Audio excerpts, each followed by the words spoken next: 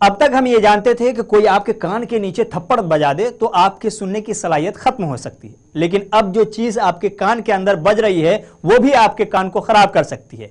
जी हाँ बात हो रही है हेडफोन और ईयरफोन की, जो हमारी ज़िंदगी का लाजमी हिस्सा बनता चला जा रहा है। हर दूसरे और तीसरे शख्स के कान में आपको हेडफोन, ईयरफोन वगैरह नज़र आ जाएगा। लेकिन ये हेडफोन आपके कान की दुकान को हमेशा हमेश के लिए बंद कर सकता है। शायद इसका आपको अंदाज़ा नहीं है। लेकिन ताज़ा तरीन तहकीकत से मालूम हुआ है कि एक अरब लोगों के कान पर खतरा मंडला रहा है। वो कभी भी बहरे हो सकते हैं। यकीन नहीं है तो रिपोर्ट देखिए।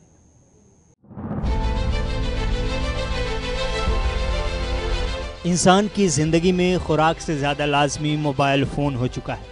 और मोबाइल फ़ोन की इस लाजमियत ने हेडफोन को कानों पर इस अंदाज में सवार कर दिया है कि हर दूसरे शख्स के कान में आपको हेडफोन ईयरफोन या फिर ब्लूटूथ लगा हुआ नज़र आएगा।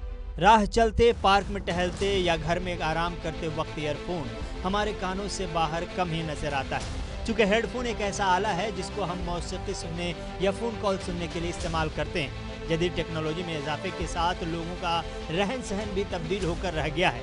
अब इंसान खुद को फारग वक्त में भी मसरूफ़ रखना पसंद करता है और अपने दिमाग और कानों को आराम दिए बगैर हाथ में पकड़े नन्हे से आले यानी मोबाइल के साथ खेलता रहता है और इसका इस्तेमाल जारी रखता है। हम में से बहुत से लोग कोई भी काम करते हो, चाहे वो मैथ के सवाल हल कर रहे हों या कुछ लिख रहे हों, अपने कानों में हेडफोन्स को लाजमी तौर पर रखते हैं। और बास ऐसे अफराद हैं जो सफ़र के दौरान या ऑफ़िस वक्त के दौरान भी उनका इस्तेमाल मौसीकी सुनने के लिए करते हैं।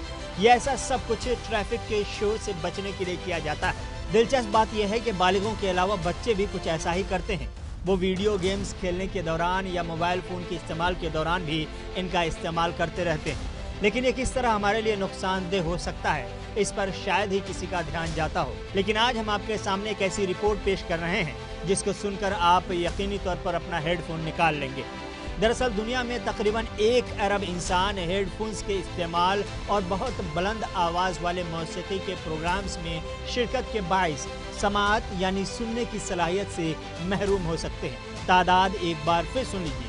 एक अरब के आसपास लोग ऐसे हैं जो अपनी समाज की सलाहियत से महरूम हो सकते हैं। आलमी अदारे सेहत यानी डब्ल्यू एच ओ की सरबराही में होने वाली एक तहकीकी जायजे में कहा गया है कि हेडफोन्स के इस्तेमाल और बुलंद आवाज़ में मौसीकी सुनने से मुतल सबसे ज़्यादा नौजवानों को मुहतात होने की ज़रूरत है। डब्ल्यू एच ओ की इस रिपोर्ट में हुकूमती सतह पर ऐसी डिवाइसेस बनाने वाली कंपनीज़ को समाज के तहफ़ के लिए इकदाम का पाबंद बनाने के लिए ज़ोर दिया गया है। B M J global health नामी जरीदे में शाये होने वाली इस तजियाती रिपोर्ट में अंग्रेज़ी स्पानवी फ्रांसीसी और रूसी ज़बानों में शाये होने वाले मुख्तलिफ़ तैंतीस तहकीकी रिपोर्ट्स का जायज़ा लिया गया है। ये रिपोर्ट्स गुजशत दो दहाइयों में मुरतब की गई हैं, जिनमें 12 से 34 साल की उम्र के उन्नीस हज़ार अफराद शामिल थे।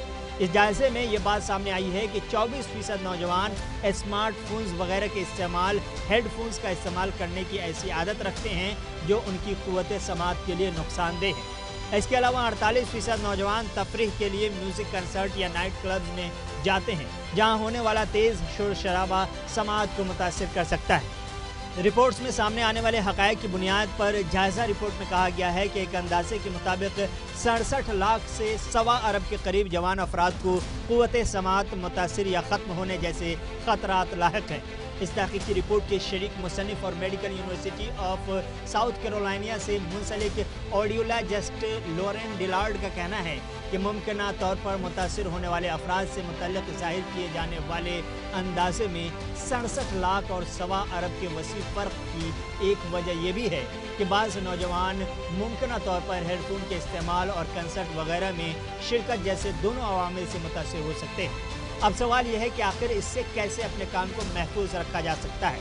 सवाल का जवाब देते हुए डिलार्ड ने कहा कि हेडफोन से सुनने की क़वत को लाक ख़तरा से महफूज रहने के लिए आवाज़ कम रखनी चाहिए और उन्हें मुख्तर वक्त के लिए इस्तेमाल करना चाहिए। उनका कहना है कि बदकिस्मती से लोग बहुत तेज़ मौसीकी पसंद करते हैं, जिसके असरा पूरी उम्र हमारे साथ रह सकते हैं। वो तजवीज़ करती हैं कि हेडफोन इस्तेमाल करने वालों को अपने स्मार्टफोन्स की सेटिंग्स ऐसी रखनी चाहिए या ऐसी एप्लीकेशंस का इस्तेमाल करना चाहिए, जिनमें साउंड लेवल की निगरानी की जा सकती हो।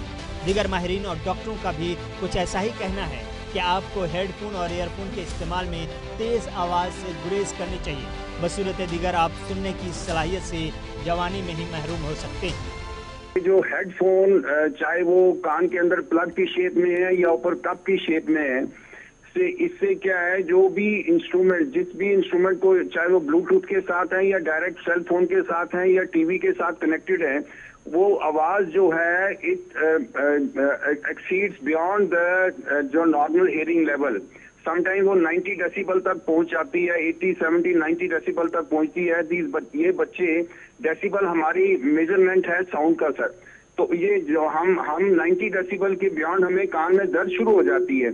सो बच्चे इतनी ज़ोर ज़ोर से इसको कान में लगा के इसके इसके माध्यम से म्यूज़िक एंजॉय करते हैं। और कई बार तो आ, आ, मैंने ये भी नोटिस किया है कि ये वाइल ड्राइविंग टू व्हीलर और फोर व्हीलर ये दोनों कानों में प्लग लगा के गाड़ी चला रहे होते हैं। They don't listen to the horn because उनके लिए हॉर्न तो सुनाई नहीं देगा।